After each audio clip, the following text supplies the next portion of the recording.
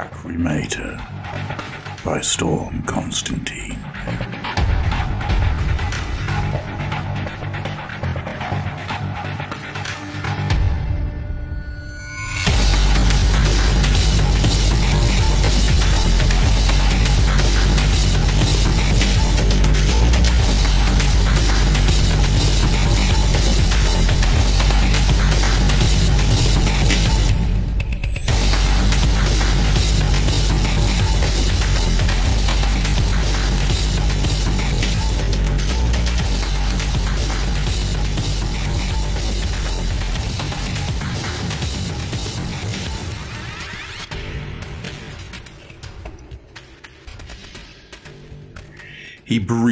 A stream of stars, each mote of light igniting in his lungs, bringing a hot, sweet taste to his tongue.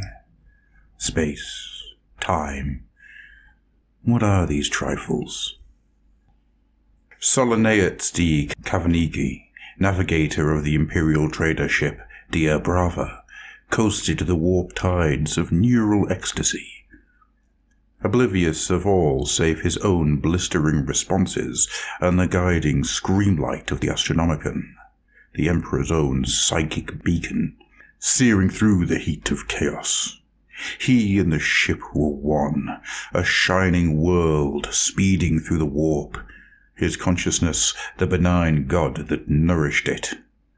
Real space drop minus 15. Sol realigned consciousness. The warp screen on the helm just in front of him was pulsing dully, displaying a convulsion of lesser eddies in the immaterium outside. Nothing too worrying. He glanced upwards through the translucent plasticrystal of the navigation blister into an aching tumult of colour and optical noise. This was overlapped by his warp sight, courtesy of his third eye, a mutation peculiar to the navigators which transmuted the chaotic fluidium of warp space into recognizable symbols. A phantom of his mother's face gaped inches from the translucent blister, evoking the thought response, Damn, I forgot the call. He had meant to ask the ship's astropath to transmit a message back to Earth for him before the jump into warp space. He knew that Latinia, his mother, fretted during his absence more than she did for any other members of the family.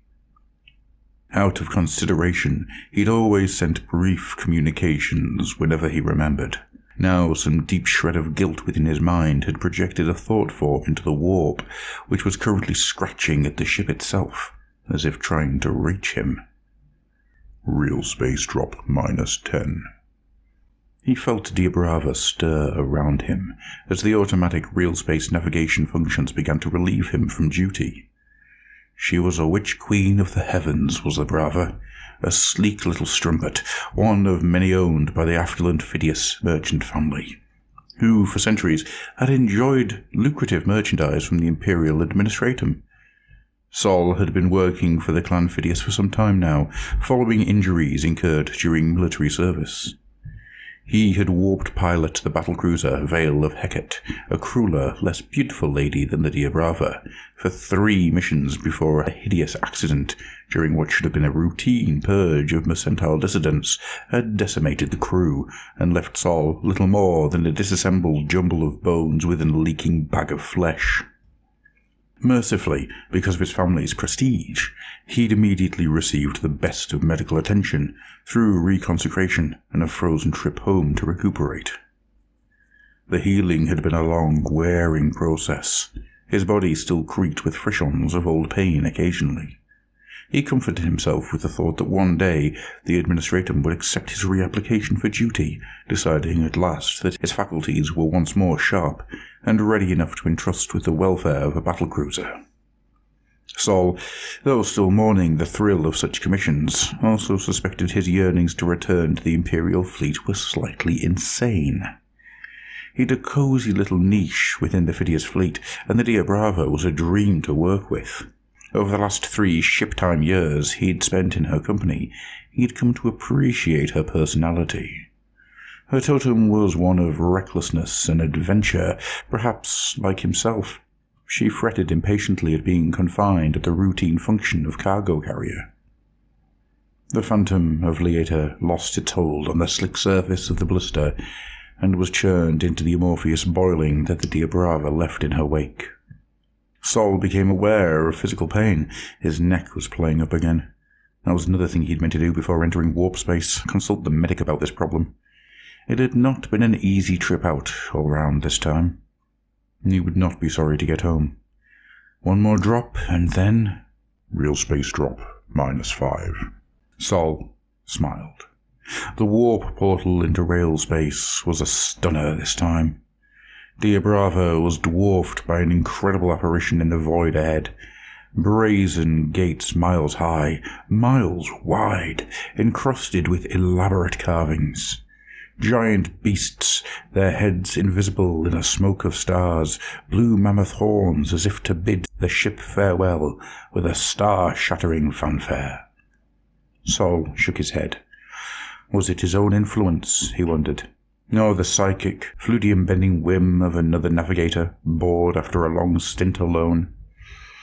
Perhaps the illusion had been spawned by the creative residue of some dazed Eldar poet who had once coasted the warp tides, coaxing dreams to reality.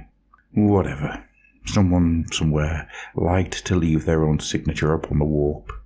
Three drops back, he'd cruised the ship through a yawning, fanged-toothed mouth, whose gullet delivered him into real space near one of the Ministorum administrative worlds. Somebody with a sense of humour, maybe. The inevitable and thankfully brief spasm of nausea vibrated through his flesh as Diabrava left the warp. He couldn't resist glancing over his shoulder as he pulled his bandana back into place over his third eye. There were no mammoth gates closing behind the ship's tail. Of course not. Journey completed, Sol touched a sequence of protective runes above his control helm, then lightly laid his fingers upon his brow. I thank thee, Lord Emperor, divine Father of all that lives, for thy endless love that reacheth out to the concerns of forever, and carries us all, thy children, in safety. Blessings and respect. He rubbed his eyes when the prayer of thanks was recited, and began to unstrap himself from the navigator's pod. His neck was singing in agony now. It would have to be seen to before the next warp shift. Whatever projections Diabrava might have, Sol was always deeply relieved when they dropped back into real space, even if he never consciously admitted it. Sometimes the things he saw out there were just too tempting.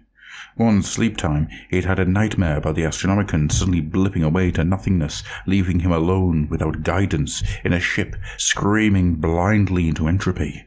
He'd woken up sweating and pawing at the air, his ultimate fear being that his dream self, despite being terrified, had also enjoyed a wild exultation. He had yearned for the final embrace of chaos. If his subconscious toyed with such sentiments in his sleep, Sol was all too aware of how vulnerable he was in the warp. But then, who wasn't? He'd seen the burnouts, shielded by their families, newly released from Ministorum retreats, where the priesthood tried to launder the frazzled brains of those who had succumbed. It was a risky business he was involved in, his lifeblood. Sol descended to the walkway leading to the camera recruiter, rubbing his neck as he walked. It was always the same, the aftermath. Vague depression, insecurity. He knew very well by the time the next warp shift was due, he'd be aching to ride the stuff of chaos once more. Captain Grayan Phidias was giving in to his usual ritual of inspecting the cargo now they'd dropped back into real space. He was aware that this was slightly neurotic behavior. Diabrava herself would know if anything was amiss, but could never talk himself out of doing it. Maybe with time his concerns would lessen. He was a young man, and the Brava, one of the family's smaller vessels, had not long been entrusted into his care. Like Sol, he was eager to return home. There had been a series of mishaps this trip, an unexpected bout of illness among the crew, a near miss with a warpstone near the gate to Hova Nesta. Problems with the consignment of goods on Phaeton South had caused an irritating delay, thus upsetting the receivers on the following drop. Problems, problems. Graham was also concerned about the ship's new astropath, Shavinia. This was her first trip out with the Diabrava, her first trip aboard any spacefaring vessel, in fact. She had been assigned to take over from old Bezos, the previous astropath who had been with the Phidias family all of his working life. Astropaths were essential to communication aboard ship, and Graham felt uneasy about the apparent delicacy of this girl, her strange air of feyness. He had trusted Bezos implicitly. He had been a robust and dependable creature. Graham mistrusted Shavinia's capability despite the impressive references in which she'd been dispatched from the Scholastica of Adeptus Astra Telepathica. She seemed little more than a child, though Graham had to admit, however grudgingly, that she had a keen mind. If anything, her ability to transmit and receive information surpassed Bezos's considerably. His misgivings were instinctual, but until he could identify some fault or another, he had no proper cause for complaint. As he walked through the cargo hold, Graham unconsciously ran his fingers fondly over the ribs of the vault. Very quickly, his ship had seemed to become part of his soul. He felt her movements and sighs, each creak and moan, as if he'd made them himself. Her arched vaults, plated in dull black plasteel, were thickly inscribed with protective runes and totems. She was a virtual fortress, as he'd expected, everything was in order. He knew it was apprehension about the next cargo that was making him jittery. Maybe it was an honor that his father trusted him enough to take the job, but Graham suspected even the most experienced captain would think twice about having a consignment of lacrimata on board. Naturally, most of the legends surrounding it would be exaggerated, but unnerved by the mishaps he'd had to deal with already on this ship, Fought a superstitious fear that picking up the lacrimata would only create further dangers. Taking one last look around, Graham forced himself to leave the hold and make his way to the Recruitia. All Phidias ships had a member of the Ministerium on board, so that the cleansing rituals could be performed after every warp shift. He'd met Solonatus in the passageway two decks up, considering the navigator was looking as fey as Shavana nowadays. Navigators were all inclined to a pellucid delicacy, but Sol's huge dark eyes were almost feverish. Graham made a small formal bow, which jerked the navigator's mouth into a smile, not entirely devoid of mockery. Hard time? No. You look tired. I am tired. Sol had to quell resentment of the captain's officious manner occasionally. What did he expect? His navigators to come bursting out from the blister, leaping with joy and fatality? Phidias looked offended by his tone, however, so Sol decided to make amends. I always look tired after a drop. What's wrong with your neck? Sol abruptly dropped his hand. Nothing much. Well, get it seen to. Graham attempted what was clearly supposed to be a fatherly smile, but which Sol meanly interpreted as condescension. Well, we mustn't keep Brother Gabrius waiting. Sol shook his head warily at the captain's retreating back and followed him up to the wreck. Patience, patience, he told himself. Diabrava was coasting serenely towards a cool blue gem of a world, which could be clearly seen through a narrow arch points of the wreck. He knew that Phidias was making a pickup here rather than a delivery, and it was the cargo that the Phidias clan were especially eager to get their hands on. Because of it, everybody had been promised a bonus when they returned home. Sol presumed this was to override any misgivings the crew might have about sharing confined space with Lacrimata, a potential destructive material. Personally, he felt no apprehension. Recorded incidents of fatality had all derived from negligence, which certainly wasn't one of Phidias's failings. Sol never knew whether to respect or be annoyed by the captain's nitpicking. He was not that much older than Phidias, yet sometimes Sol noticed a jarring immaturity in the captain, which in bitter moments he felt derived from Graham's lack of hardship in life. The captain tried hard to establish comradeship with his navigator, which Sol was well aware of, but neither of them could ever relax enough for a friendship to develop. Sol felt it was something to do with his mutation. ignorant of how adept he was at freezing people off. Typically, Grayan asked Sol if he'd like to accompany him down to the planet's surface. Sol winced inside as the captain made awkward references to the delights to be found below. Salome Nigera was one of those legendary places of the space lanes, rumored to be home to a thousand thousand illicit pleasures, all of which were available to discerning travelers for an appropriate fee.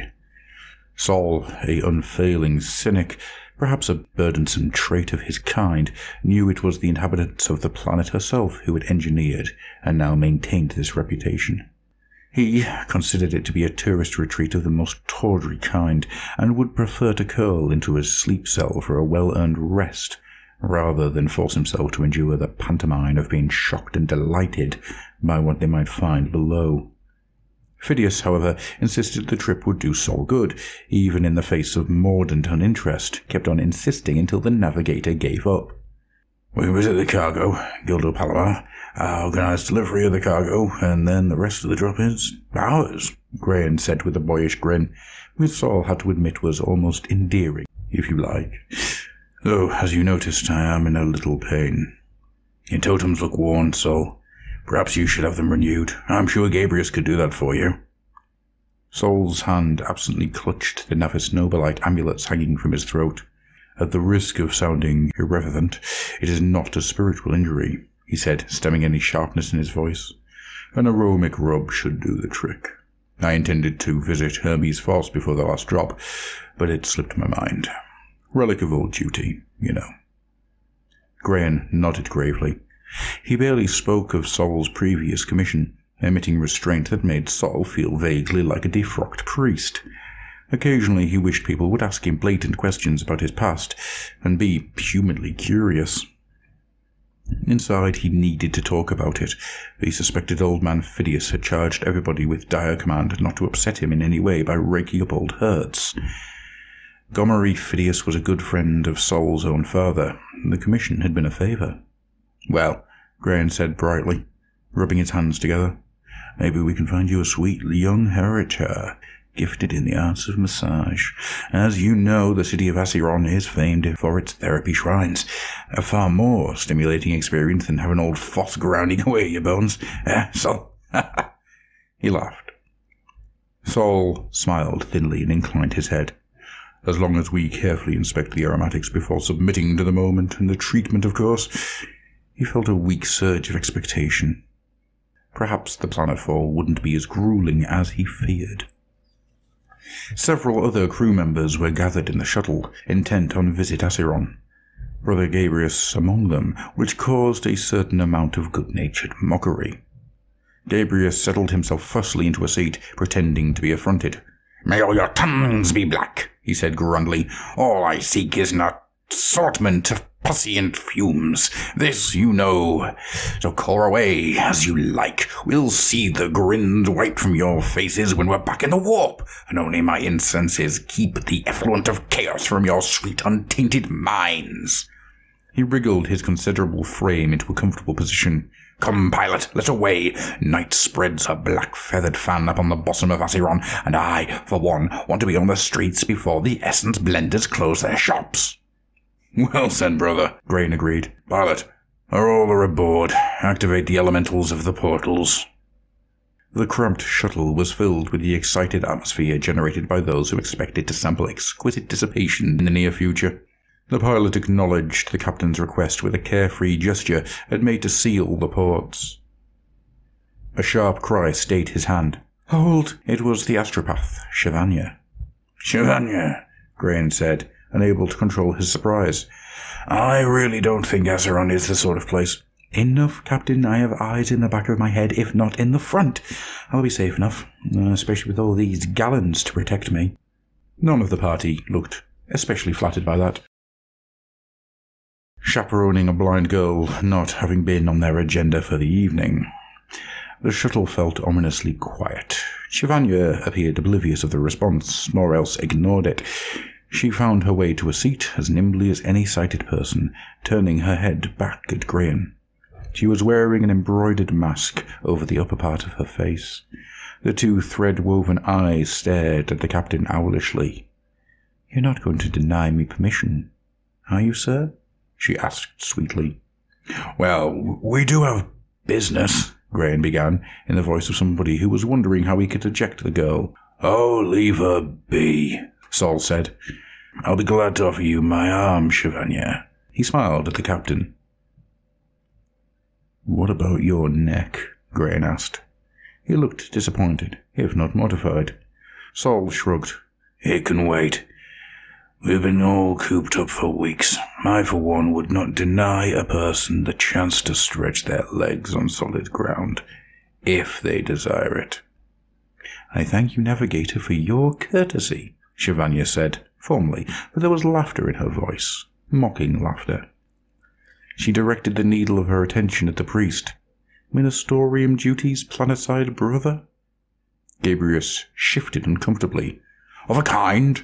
Naturally, I would have offered to accompany you, but he began, but Grayan silenced his apologies. Come, come, the matter is settled. Let's fly. Acheron was a remarkable confection of a place. Her streets were paved in pearled marble, her towers rose, tier upon tier, aflutter with pennants advertising which services could be found within. Sulky eyes, painted on silk, gazed through laced fingers the perfumed breezes causing them to ripple as if alive.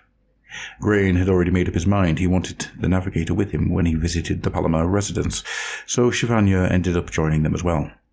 Rather than use public transport, the captain insisted they walk on foot to admire the city sights. Sol was disappointed. The main form of conveyance was provided by elegant open carriages drawn by beasts of burden native to the planet, creatures that seemed to be an absurd blend of camel and dog. He would like to ride in one. Perhaps he, later, with the astropath, could hire one for a while. Chevanier, extending her heightened senses to encompass all that they passed, kept up an awed commentary, which Sol could tell soon began to get on Grayan's nerves. Palomar House was situated in the heart of the aromatics district, a sweeping pale leviathan of a residence, with many low, sprawling workshops to the rear. The air was so filled with the reek of perfume blending, Sol and Grayan's eyes began to water profusely. Chevanier, being blind, did not experience this discomfort. Presenting themselves at the soaring main entrance, its elegance enhanced by its classical sim- simplicity, Grayan and his companions were shown by an imp- by an imperious servant into an understated yet exquisitely furnished salon near the front of the house. Refreshment was bought, pale fragranced wine and tender wafers perfumed with local flower essences. Chevanier exclaimed that Salome Nigra, Niagara, Chevanier exclaimed that Salome must be a world created solely for the pleasure of astropaths. The stimulus is for the nose. The nose, she enthused. Who needs physical sight in such a place? Grayan and Sol, still wiping their eyes with their handkerchiefs, were inclined to agree with her. Guido Palomar made a grand entrance after a suitable time had elapsed. He was a tall, well-built man, his handsome face set into a perpetual smile. So, he said, leaning back in his silk-cushioned chair, your essay essaying entreaty to the Dark Lady of Nepenthe. He helped himself to a biscuit, nibbling thoughtfully. Grayan and Sol had both leaned forward expectantly. My family had captured the essence of the mystic flower for centuries, he continued. Mysterio Hypnomorta, a prayer, her name, a prayer. He sighed. We call her the Lacrimata, the moonskin, the last breath of a favored concubine. Mysteria, the dark maid of the hidden caves, fragrant, fragile bloom, whose fleeting kiss is spiritual joy whose bitter juice is oblivion. He smiled. His speech was obviously a sales pitch, Sol thought. However, the plain truth would be lacking in romance. The Palomars grew a rare flower in the underground catacombs, whose perfume was highly narcotic, and whose essential oil was a deadly poison if ingested. It could also be sold for ridiculous amounts throughout the Imperium. Naturally, such an honest description would not excite Grayan's desire for purchase as much, but then why bother anyway? The Palomars were rigidly discerning about who they dealt with in the world of commerce. The fact that Grayan was here at all indicated that the sale had already been finalized with the Phidias clan back on Earth. Grayan was just a courier. Palomar obviously liked to romance his merchandise. Sol noticed Palomar was looking at him keenly. Naturally, you want to see for yourselves, his host said, with a wider smile. The catacombs were accessible via a single door in the heart of the Palomar workshop. Violet glow strips illuminated the worn stone steps that led downwards into the damp murk. Shivanya slipped her arm through Sol's as they descended. Can you smell her? she whispered. The navigator could feel her trembling. Is this what you came here for? he asked in an undertone. It was possible. Astropaths, being psychic and therefore mystically inclined, would be bound to be interested in the lacrimata. Shivanya squeezed his arm. She did not answer.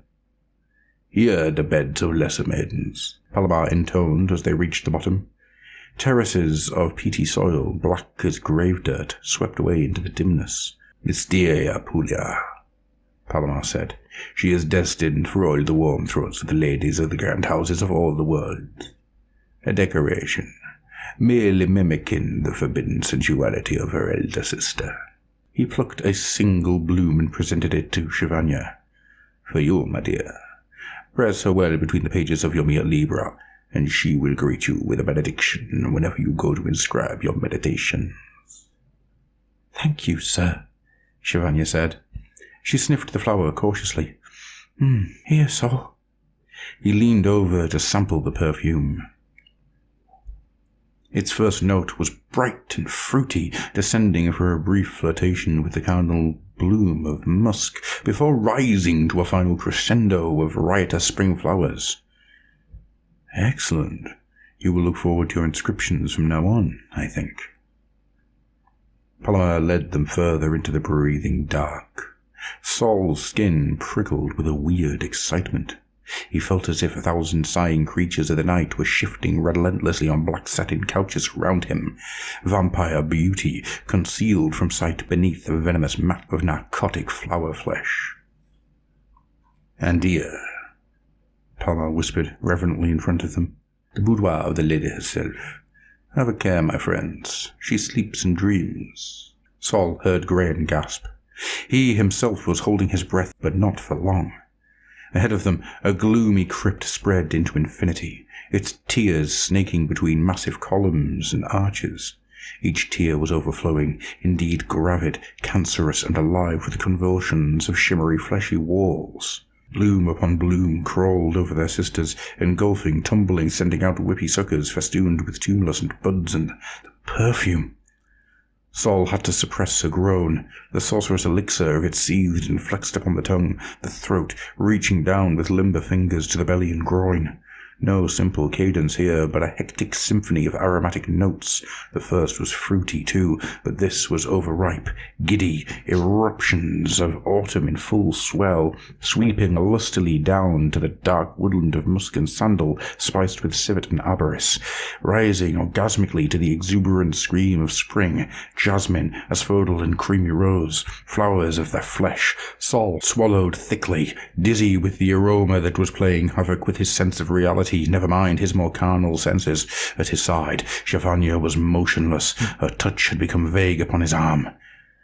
Palomar let them all sample the agonizing ecstasy of it for a few moments before clearing his throat and saying, Well, I trust you are satisfied, Captain Phidias. Perhaps we can repair to the salon once more to arrange delivery of your consignment. Rather overcome and silent because of it, Gray and Sol, and Shivanya eventually emerged into the streets once more. Shivanya toyed gently with the bloom Palomar had given her, settling it safely behind a talismanic pin on her robes. They reached the tourist quarter, unaware of how they had got there. Cafes and bars lined streets that radiated out from the quaint squares, the aroma of cooking food did something to dispel the enchantment of Palomar's crypt, and Sol suggested that the three of them choose one of the cafes to sample local cuisine. Shivanya agreed enthusiastically, but Grayan, looking sheepish, mumbled something about going on to find the rest of the party. Sol, fighting the urge to poke fun and discomfort the captain, merely smiled and told him that he and Shivanya would him back at the spaceport in three hours, ship's time. Grayan gratefully scuttled down one of the alleys. Are you sure you don't want to go with him? Shivanya asked, clearly aware of what Grayan was looking for. I don't mind. I'll be quite happy sitting here alone. Really? No, Sol insisted, firmly tucking the girl's hand through his elbow. Come along. This looks like an interesting place. Glazed fowl hanging everywhere. Take a sniff. Shivanya laughed delightfully. I wish I could see you, Shivanya said wistfully as they sat drinking a dessert beverage. I mean, really see you. Your aura is handsome, Navigator, and yet. She shrugged. Leave me. It must be the effect of this little lady here. She touched the bloom in her robes. I suppose I must be ugly to you, blind as a bat as I am. Shivanya, stop that, Saul said. You are a very pretty girl, as you well know, and I am a rather haggard spectre of a man. Drink your dessert. You haven't seen me without this, she said mournfully, indicating her mask. So show me then. You won't scream? Saul laughed. She was joking, of course. Only behind my hand. I'm not squeamish, Shivanya. Really. Impulsively, she reached up and untied the strings of her mask, lowering it swiftly with an air of challenge. Her eyelids drooped over milky, blind orbs, sunk deep into her skull as if shrunken. Thin, almost pencil-drawn brows shadowed the sockets. It was not gruesome, however, which Saul knew that the girl must be aware of. A test, then. Was she inviting a physical response from him? Disgusting, he said with a laugh. Dress yourself at once. She smiled and replaced the mask. I could ask you to remove yours, Navigator, but there'd be little point. Doesn't it itch? Not at all.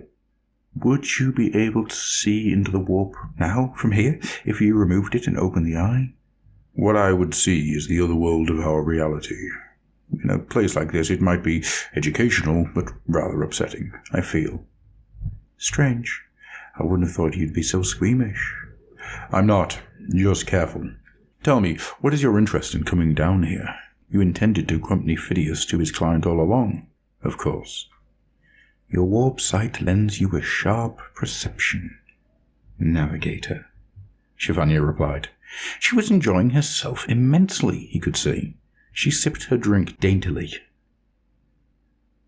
Lacrymata is a legend. I was curious. Also, if the fables around it are true, it possesses innumerable properties which haven't even been guessed at yet. Really? And which of these legends concerns you? Shivanya laughed. You sound like an inquisitor, Navigator. Aren't I allowed a girlish curiosity? Allowed it, certainly, but I very much doubt that is your motivation. She shrugged. The interest was casual, really. It was only a rumor. I'd heard that lacrymata stimulates psychic sight, far beyond what a humble astropath can imagine. She shrugged again, jerkily. However, I've smelled the stuff now, and my inner sight has not improved significantly. I should hope not, Saul exclaimed. Whatever properties the perfume has, it is also very dangerous and possibly attractive to hostile forces. And that, dear navigator, is probably just as much of a fable as any other connected with the stuff. Palomar has to sell it, doesn't he? It was all just talk. Saul remembered the effect that the lacrymata flowers had on him, and suppressed a shudder. He did not share Shivanya's apparent skepticism.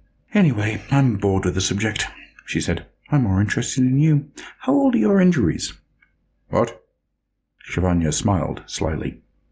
Oh, come now, Navigator. You should know I see more than others. Lacrymata or not. Your aura has scars. How did you get them, and where? Saul was impressed. It happened what seems to be a long time ago, and the name is Solanatus. Remember? She shrugged. Well? By the time he'd finished pouring out his life history to the girl, they had scant moments to return to the ship.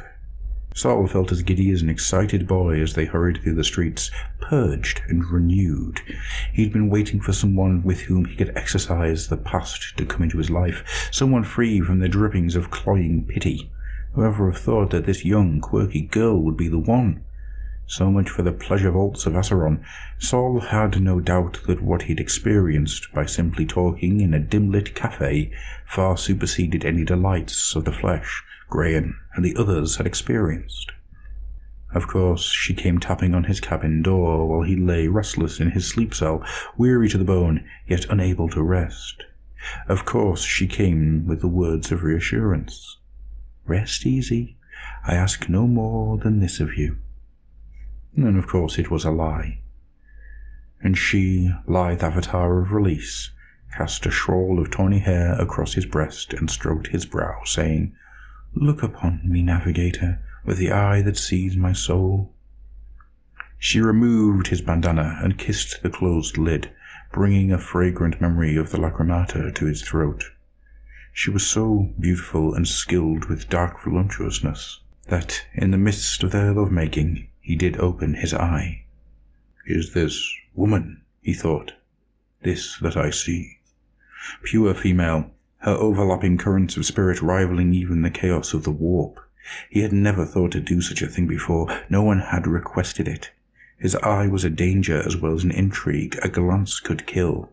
Shivanya, in her blindness, was immune, but she cried that she saw the light of him unveiled, his forehead shedding radiance which she claimed shared the same brightness as the Emperor's own beacon. Heresy. Maybe. If only we had a sample of the cargo, she said, close to his ear. Think what ecstasies we could share. Or what pain, he added. A shiver of presentiment summoned a vision of the next warp drop. He alone in his pod, with the dark moving liquid in the vaults below, singing its insidious song to the ever vigilant powers of chaos. You fear it, Shivanya laughed ice and passion of the wounded navigator. She stroked the scars on his chest and belly. I envy you your sight, she said. Afterwards, she curled into his arms, humming a strange little humming a strange little tune, running her fingers over his smooth white skin, reaching in to wind them in his long fine hair. Divine mutant, she said. Hush, don't say that. You are, as am I in truth, both of us tolerated for our uses. Blessings upon our imperial father that we may find solace with each other. Sometimes, Shivanya, I think you say very dangerous things. She scorned him gently. Faithful navigator, always quick to obey, to bend his back before the whip of imperial doctrine. Shivanya! He tried to ease himself away from her, suddenly feeling that she'd become a twining, suffocating thing. What are you saying? Listen to yourself. I have done that for years, she said sharply. Always listened to myself from the day that the black ship came and took me from my home. You are an astropath, privileged, honored. Your very soul is bonded with the Emperor's. She sneered. Heh. A bonding that had burned away my eyes. Bonding is another word for slavery, is it not? Saul shook his head in confusion. I will not argue with you, but when you say these things, remember what your fate could have been. And you think this is any better? She sat up, brushing back her hair. Her voice possessed the dry quality of some seasoned, jaded assassin, a woman whose flesh was laced with scars. Saul reflected that you never came within a whisker of knowing someone until they'd shared your bed. It's easy for you to be so complacent, she said bitterly. A ship here, a ship there, flitting around, cushioned by the influence of your great family. What am I, in comparison, a mere slave, leased out by the Scholastica? I do not choose my commissions, navigator. Your life is your own. Mine. She turned her face towards him, and the white eyes between their slitted lids looked snake-like. I belong to Phidias and his clan. My freedom aboard this ship is an illusion. No good can come of this talk, Shivanya. She shrugged. Whatever. I have offended you, shocked you. For that I am sorry. I like you. Still. She sighed, her voice taking on a wistful note. Perhaps it was a mistake to leave ship. I did not want to come back, you know. Saul reached out to touch her. Forget this. Say nothing else. Come back to me. Reluctantly, she curled against his side. Sometimes, she said, a great fear comes to me. I feel as if a depthless abyss waits open at my feet. Not for now, Saul whispered and held her tight. Grayan Phidias supervised the stowing of his cargo, restlessly pacing the cargo vault as members of his crew carefully secured the crates. At Grayan's insistence, Brother Gabrius came puffing down the access ramp, clutching a smoking censer of his recently purchased potent incense and a handful of newly etched talismans to drape around the cargo. We cannot be too careful, Grayan said. This stuff, for all its value, is a seductive substance. I am concerned of what may occur should warp leakage steal its way into the ship, Gabrius. I want the whole of the Braver consecrated again, every quarter, every duct, every rune re-blessed and anointed. Is this clear? As the bloom of the nebula, Captain, never fear, Gabrius's unparalleled spirit will quell and subdue any efflua seeking entrance. Grayan smiled and patted the priest's bulky shoulder. I know I can trust you, brother. Now I must hunt down our little communication system and ask her to transmit a message to my father. I intend to ask him to have a banquet ready for my crew, courtesy of Clan Phidias. Gabrius grinned. He could breed whole generations of prime beef by the time we get home. It had not gone unnoticed by Grayan that some kind of carnal transaction was taking place between his navigator and his astropath. For some reason, this caused him deep discomfort. Shivanya, he decided, had a streak of insolence inside her. Mm, perhaps it was this that made him distrust her. Sometimes when he issued a command, he could sense a wry malevolence in her expression, something about the mouth. It worried him that she might alter the sense of the message when she sent them, just out of mischief, to cause him embarrassment and inconvenience. Why should this be? Shivanya may be a laser in comparison his last navigator's steady but small candle flame, but he could not bring himself to have faith in her. He also feared she might be bad for Sol. After all, who knew what went on in the navigator's head? It was no secret he had been horrifically wounded and had suffered a serious breakdown afterwards. Montgomery had instructed him to treat Sol with care, to look out for him. Grayan felt his instincts bridle at the thought of the quick, incomprehensible Shivanya having him in her clutches. He intended to speak severely with his father in return. There was no way he would have that girl on board again. The crew of a ship were an enclosed community, mostly removed from time and space itself, the universe rolling on without them. It was therefore intrinsic to the ship's well-being that the crew resonated harmoniously with each other. One jarring note, and the whole delicate structure could fall apart, entirely the kind of occurrence that the foul influences of the warp could get a hook into. This possibility alarmed Grayan more than that of engine failure or facing a warp storm. Dia Brava was his kingdom, and he was sensitive to its ambiances.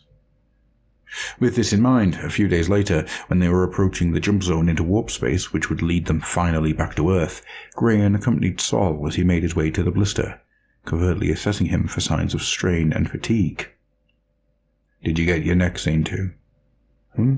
Oh, yes. Foss gave me a working over. It's fine now. Grayan pulled at his lip, standing on the access ramp and watching Saul carefully as he shimmied into the confined space of the blister and eased himself into position. Saul, can I speak plainly with you? Saul leaned sideways and peered down the ramp. Is that an order? Saul! Sorry, what is it? Shivanya. Oh, Saul began, fiddling with the controls to the warp screen, his face taking on a mulish expression. Grayan fidgeted uncomfortably. I have to speak, Saul, as friend and commanding officer. Be careful. Saul looked at him again, his expression guarded. He wanted to say, What gives you the right to call yourself my friend? but vented his annoyance with other words. I am not an invalid, Grayan. I wish you'd stop treating me like some half-fuddled, incapacitated veteran. Quite frankly, much more of this and I'll be forced to resign my position. I am quite over what happened. It has not made me vulnerable. I am an adult, and... All right, all right. Grayan raised his hands placatingly. I had to speak. Appreciate my position. She knows you don't like her, Saul said abruptly, once more adjusting his screen. Now that can't help the situation, can it? Grayan made a non-committal sound. At the risk of further tongue lashing, just how serious is this business with you and her? As serious as any relationship for people in our positions can be. We live for the day. I can't see that it's any of your business, Grayan. Have no worry that it will affect my work, or hers. Now, if I could be allowed to get on with the business of warp flight. Grayan shrugged, reached up, and slapped Saul's thigh with a assuring gesture, before making his way back to the camera operator, operator, where he would catch up with a little paperwork, leaving the Dia Brava in Saul's care. The interview had not progressed exactly as he'd planned. Saul sighed, settled back in his chair, blinking up through the blister to the streaming stars. If only Grayan could know how he too had reservations about Shivanya, reservations however, that could not compete with that temptation of her body, that sweet soothing of hers. He knew there was an undeniable shred of repulsiveness about her, as compelling as her attractiveness. This, he told himself, was simply because she came out with unwise, heretical statements from time to time. She was young, bitter, with guidance she was sure to overcome the grievances. That her quick flashes of temperament could presage anything worse to satisfaction was unthinkable. She had been trained by the Adeptus Astra Telepathica. Their screening process for removing tainted material was infallible. It had to be. It has to be, he said aloud, as he removed his bandana. The warp was quiet beyond the gate.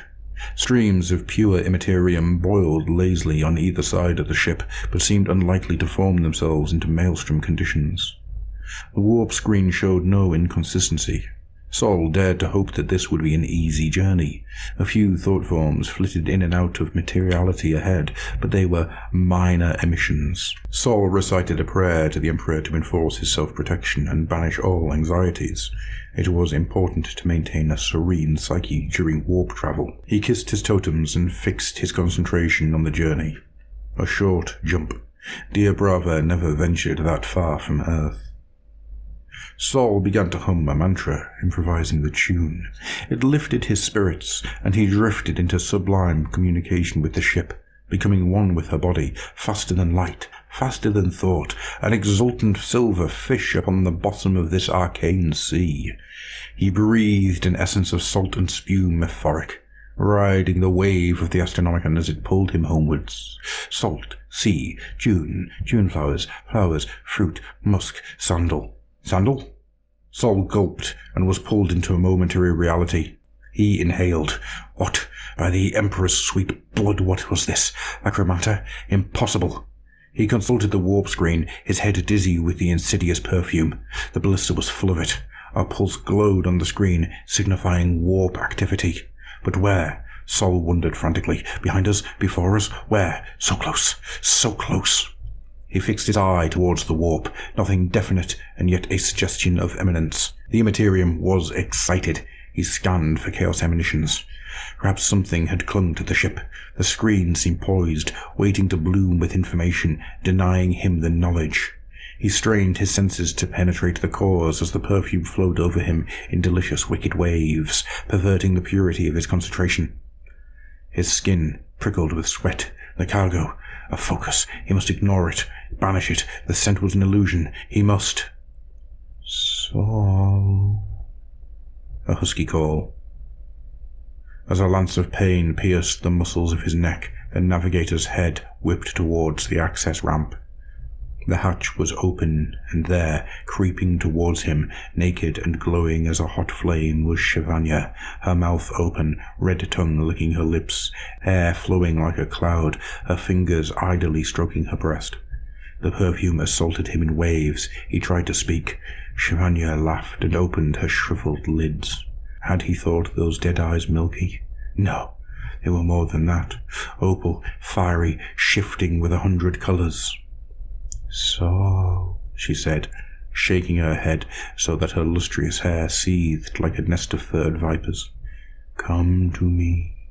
The essence is my flesh. It gives me sight. I have anointed my eyes. I see. I see so much. I see you. No, he said in a strangled voice. He felt as if the very substance of the Dia Brava was melted before his eyes. All that existed was the pale, shining form of the astropath and the hideous seductions of the warp waiting to take them in a final, everlasting embrace. No. What is this no? We are in our place, are we not? Mutants, we. I can hear my sisters calling, vapors upon warp tides. All those that die all those that die, you slide this ship upon a torrent of their blood. Open that great eye of yours and really see. Look at me. Touch me. Open the blister and take me home. For a few moments, Sol wondered whether he was hallucinating his own desires. Is this what I want? What I've always wanted? Then Shivanya reached out a hand to touch him, her fingers flexing, curdled eyes blinking and leaking sluggish tears. She hissed and smiled. I spit your seed into chaos, she cried, and lunged to throw herself into the blister upon him. Acting reflexively, Sol winced back, and then, with an extreme spurt of effort and will, pulled himself from the chair and flicked out his leg to kick the axis way shut. He heard an agonized squeal, an infinity of violent colors smacked against his warp sight, bringing peals of agony, pain he could not imagine in the worst of nightmares. His body writhed and his stomach convulsed. The surface of the blister was a swarm with foul shapes, all grinning, all scratching, telling him with sickening gestures all of what they planned to do with his body when they reached it. Sol tasted salt. He knew he was biting his tongue.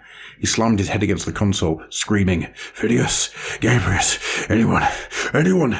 But the communications node seemed a million miles away, beyond his reach. Had the ship left its course? His eye was blind to the route, seeking only a tangle of voluptuous shapes that beckoned and tempted, promising eternal pain, external, internal, eternal ecstasy. He could hear Shivanya scratching at the hatch, her voice a hoarse whisper of desire. My Lord Emperor, Sol screamed, help me, help me, with a pure strain of unadulterated thought forced its way through the melee. Take my hand, it said. I am with you, Navigator. Take my hand. With that, he focused on the beam, his consciousness flowing with it, melding with it, following. Although he knew in his heart the Emperor was cocooned within his palace on Earth, his aged, tortured body kept alive by machines, the navigator spirit saw a figure walk the Astronomicon's beam as if it were a shining path, leading the Dia Brava away from danger, dismissing the effluvia of the warp with its strength and grief of its soul. A vision of his faith, Maybe. But to Sol, it was the Emperor himself, spirit walking in the void. Some moments later, he came to a kind of reality and realized that the fluidium outside was quiescent, the warp screen clear of clots. There was no sound beneath the hatchway, and the fume of lacrymata had left the blister. He was the Dia Brava, and they swam the wave of the Astronomicon embraced by the spiritual essence of a thousand martyrs, swimming home. Did you call me, Sol? Back in real space, Grayan Phidias was at the blister even before Sol had unbuckled his safety harness. I thought I heard a call, but the ship's mind told me otherwise. Even so, I thought I'd better check. Are you all right? Sol looked terrible, his white face slick with sweat, dark shadows around his eyes. He had not replaced his bandana, just sat in his chair like a corpse or someone drugged, a mutant eye staring dully at the warp screen. Averting his gaze, Grayan squeezed into the blister alongside him and gently tied the bandana back into place. What happened? he asked. Sol. He gave the navigator a shake. Sol shuddered, jerked, and then gulped air, ship's air, faintly metallic, rubbery sweet, and, thankfully, free of perfume. He sighed and momentarily leaned against the captain. The instant was of silence, suspended heartbeats. Then he pulled away. Many die to keep the Astronomicon alive, don't they? He said. Not unwillingly. You know that. Phidias had a horrible dread Saul had suffered a further breakdown. What? Saul shook his head quickly to silence him. No, the cargo, it has been tampered with. What? Impossible. I would have been informed. Nevertheless, what I say is true. It was protected. Sol looked at him bleakly. Yes, undoubtedly, as I am. Always, believe me, Grayan, I am not mistaken. Phidias rubbed his face uncomfortably. You are ill, Sol. Get yourself out of that chair. I'll take you to Foss. Sol leaned back in his chair and uttered a low, bitter laugh. Ill, am I? Take me somewhere where I can talk to you, Grayan Phidias. Play the part of being the good friend you have always professed to be. I have a favour to ask of you. She was in her cabin, dressed in her finest robes, brushing out her hair. She wore her mask, the eyes unseeing, staring into nothing. I thought he would come, she said, laying down her brush. Sol didn't comment. I have something for you, he said. A gift. It is the best I can give you under the circumstances, Shivanya. I know you will understand, and use it wisely. She accepted the gift, closing her fingers over the small crystal bottle. Her laugh was shaky. Well, so there goes your bonus, I suspect. Such generosity. Not generosity, Shivanya. I loved you, in a way. It is compassion, merely that. A report will be made to the Scholastica when we return. You know what its verdict will be and its consequences. You are tainted. You must know that. You complained before about your lack of freedom. Well, if you reach Earth, your life aboard this ship will seem like paradise. They will send you to feed the Emperor's soul. Because of what we shared, I wish to spare you that. Thank me. I grant you your dearest wish. A full draught of the Maiden of Oblivion. If you are lucky, for a moment, you'll have the sight you craved. He left immediately, and for a while Shivanya sat motionless, the bottle held in her lap. She could not cry, no matter how much she yearned for that release. Her lips shook around the shape of his name. He'd possessed a strength that she had not anticipated. To her, a hideous strength. Then she opened the bottle. The sensuous aroma flooded her cabin, sweet with desire, loss. Its crescendo was the last damp fires of autumn before the winter comes, when all is burnt, the rubbish from the fields, the dead wood. She smelled dark earth and sensed a welcoming somewhere. With shaking hands, she tipped a little of the essence onto a single finger and anointed her throat. Moonskin, Lacrymata, Lady of Tears, Dark Sister, not for the weak, oh no. As the siren scent rose around her in a final embracing cloud, Shivanya tilted back her lovely head on her perfect neck and tipped the contents of the bottle down her throat. For a few fiery seconds, her body danced and sang. A manic dance of endurable beauty and passion, but it was only for a few seconds. It was a swift death. I know it's hard for you, Gabrius said, but you acted in the noblest way, Sol. The priest fondly patted the navigator's shoulder. They were sitting in his chapel vault beneath the light of benediction. It had been a difficult confession. Come now, lift your head, young man. Phidias is pacing outside like a brooding leopard. Don't give him cause for concern. Be strong. Why, though? Sol asked helplessly. Why her? She was so tainted. Gabrius interrupted sharply. Believe it, Sol. The Lacrymata was merely a catalyst, and a lucky one in the event. Worse could have occurred if you think about it. You bested the powers of chaos in your own way. No trivial feat, I assure you. No system is infallible. There will always be mistakes. The Adeptus Astra are thorough, but their dominion is vast. Because of this, it is inevitable that the odd light slips through their screening net. It is true she might never have succumbed, and that the essence itself was the cause, but that is irrelevant, really. Live your life, navigator. Forget her. In scant days, we will be home, and your family awaits you. And don't forget the feast Phidias has promised us. Sol nodded, kissed the priest's belt, and backed away from the vault. Grayan was waiting outside, as Gabrius had told him. One thing I have to know, Sol said. Lacrymata. Where is it bound? The Adeptus Terra would never allow such a substance to pass hands in the free market, surely. Who commissioned its purchase? Grayan scratched his neck, wrinkled his nose. Well, Guido Palomar is indentured to one department back on Earth. Just one. The dispersal of the perfume, the true lacrymata, is rigorously controlled. Who bought it, Grayan? He sighed. The Inquisition. Sol laughed. I should have known. An instrument of torture. Hardly a matter of humor. You think not? We live in a universe of contradictions, my friend, to our continual delight. Now I suggest we repair to the Recreator to toast our fair Earth when she reveals herself in the heavens. The Inquisition. he shook his head. You look better, so, Phidias said bleakly. The navigator was already striding away up the passageway. He flung a remark over his shoulder. Just a reprieve, my friend. Just a reprieve. That was Lacrymata. If you've enjoyed this reading, then please check us out at fluffenhammer.weebly.com and have a look at us on at patreon.com forward slash fluffenhammer. Thank you for your time, and I hope you've enjoyed this reading.